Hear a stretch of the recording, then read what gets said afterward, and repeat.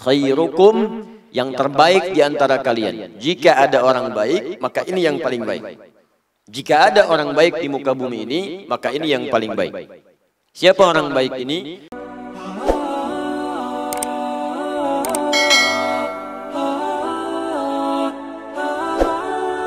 Hadis riwayat Al-Bukhari.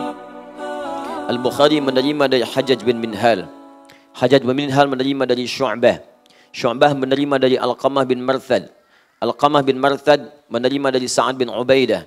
Sa'ad bin Ubaidah menerima dari Abu Abdurrahman As-Sulami. Abu Abdurrahman As-Sulami menerima dari Uthman bin Affan radhiyallahu taala anhu dan Ali bin Abi Thalib radhiyallahu taala anhu karamahullah wajah. Keduanya menerima dari Rasulullah sallallahu alaihi wasallam sanadnya sahih. Qala qala Rasulullah sallallahu alaihi wasallam khairukum man ta'allama al-Qur'ana wa 'allamah. Khairukum yang terbaik di antara kalian. Jika ada orang baik, maka ini yang paling baik. Jika ada orang baik di muka bumi ini, maka ini yang paling baik. Siapa orang baik ini? Man ta'allamal Qur'ana wa 'allamah. Yaitu siapa pun. Man itu harfu atau ismun mausulun yadullu ala fardiyatil amiyah. Ya, huruf sambung, konjungsi yang menunjuk pada objek sering kali ya secara personal tapi sifatnya umum. Ya, secara personal setiap orangnya, tapi sifatnya umum. Mau laki-laki, perempuan, ya besar, kecil, tua, muda. Setiap orangnya. Di ketika Nabi mengatakan man, kata Nabi, eh siapa pun kalian, setiap orangnya. Tanpa kecuali. Mau laki-laki, mau perempuan, mau besar, mau kecil, mau kaya, mau cukup. Ya. Kalau kalian ingin jadi baik, kata Nabi, ta'allamal Qur'ana wa 'allamah. Maka mulailah dengan belajar Al-Quran. Lalu amalkan, tidak cukup dengan belajar saja. Amalkan isinya. Saat Anda belajar Qul huwallahu ahad, amalkan isinya. Saat Anda belajar Al-Fatihah, amalkan isinya. Saat Anda belajar An-Nas, amalkan isinya. Saat Anda belajar Wal Asr, amalkan isinya. Walaupun satu huruf saja dari belajar Al-Quran, amalkan isinya. Maka amalan yang kita kerjakan dari sumber pelajaran yang benar terhadap Al-Quran, kata Nabi, ini jaminan dari Nabi, itu akan merubah hidup kita menjadi lebih baik dalam kehidupan. Itu pasti.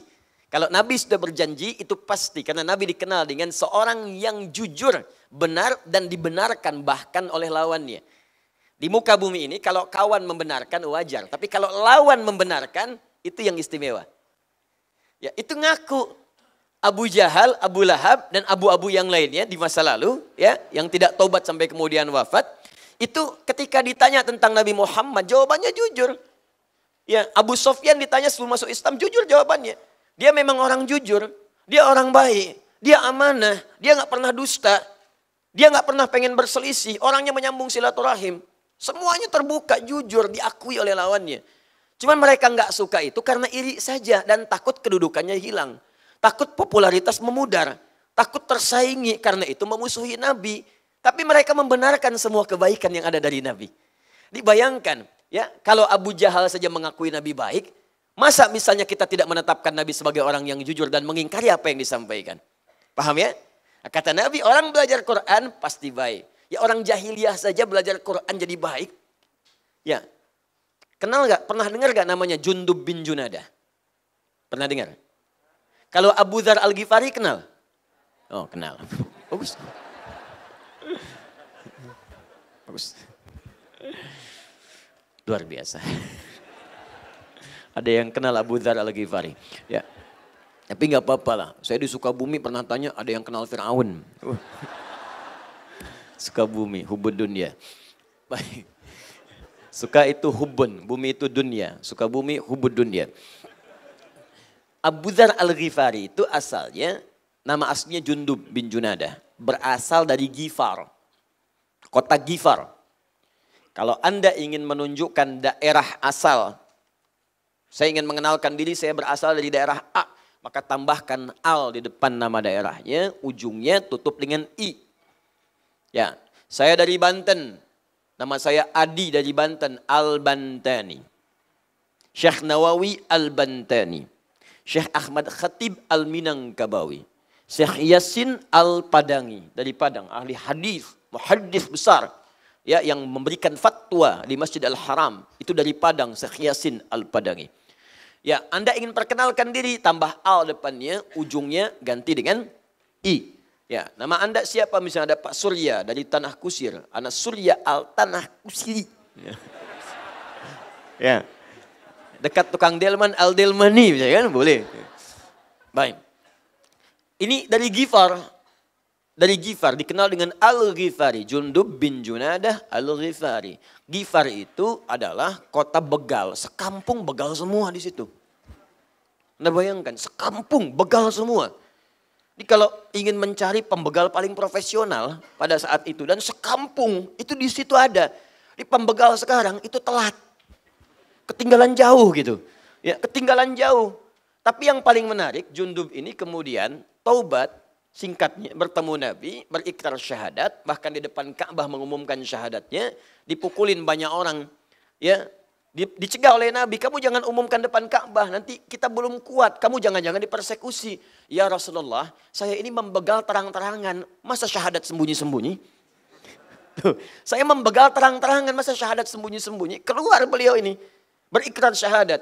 Secara singkat belajar kepada Nabi, itu belajar kan fase-fase awal, ayat-ayat pendek ayat-ayat tauhid, ya juz amma yang belakang, tapi diamalkan isinya. Begitu diamalkan merubah pribadinya, pulang ke kotanya, berdakwah di tempatnya, sekampung masuk Islam. Anda bayangkan. Sekampung masuk Islam dan jadi dai. Bukan sekedar jadi dai, jadi perawi hadis Nabi. Anda kalau belajar misalnya yang paling ringan deh, ya pengantar hadis di yang karya Al Imam An Nawawi rahimahullah, Al Arba'in An Nawawiyah, 42 hadis. Baca hadis ke-18 misalnya. Ya itu kalimatnya apa? An Mu'adz bin Jabalin wa Jundub bin Junadah radhiyallahu taala anhuma qala qala Rasulullah sallallahu alaihi wasallam ittaqillaha haitsu ma kunta wa atbi'is sayyi'atal hasanata tamhuha Hei bertakwalah kepada Allah di mana pun engkau berada. Jika engkau pernah berbuat salah memang tak ada manusia yang sempurna. Maka tutupi kesalahanmu dengan berbuat kebaikan. Jadi orang baik nanti kesalahan anda akan dilupakan. Tapi kalau Anda nggak pernah berbuat baik, orang akan mengenang kesalahan Anda. Nggak ada orang sempurna, yang sempurna cuma malaikat. La ya'asunallaha ma amarahum. Mereka nggak pernah maksiat. Quran surat 66 ayat ke-6. Jadi kalau kita memang manusia bukan malaikat, wajar kalau salah. Tapi kita pun bukan setan yang tidak pernah kenal kebenaran. Setan selalu salah. Makanya di Quran lawan malaikat itu setan jumlahnya sama. Malaikat 88 kali disebutkan, setan 88 kali untuk menunjukkan paradoks hal yang berlawanan. Malaikat gak pernah kenal salah. Setan gak pernah kenal benar. Kita terletak di antara dua itu, manusia. Mustahil ada yang sempurna, pasti pernah salah. Tapi kita bukan setan yang tidak kenal benar. Makanya kita punya peluang untuk tobat menutupi salah dengan kebaikan-kebaikan.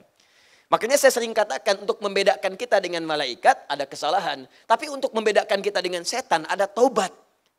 Kalau ada suami berbuat salah, ibu jangan mengeksplor bu. Karena memang bukan malaikat. Ibu mau tuntut sempurna pun gak akan pernah sempurna. Aku ingin suami yang sempurna, ya nikah sama malaikat. Gak bisa. Nah tuh, gitu.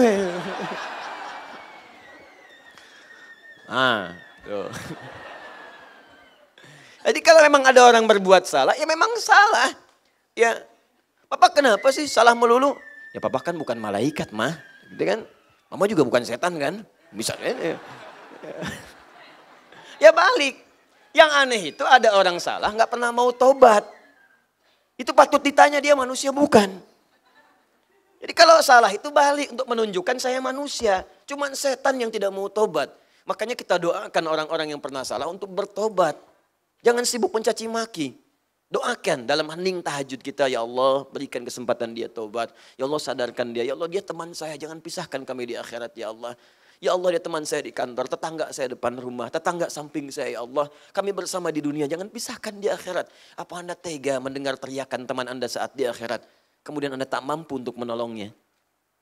Berdoa minta supaya dia kembali.